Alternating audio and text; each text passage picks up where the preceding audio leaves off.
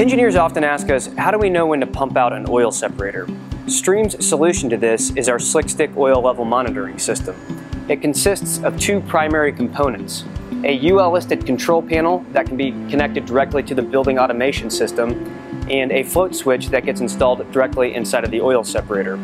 The float switch can be extended downward through our riser system by a half inch PVC pipe and the interface float floats in water but sinks in oil.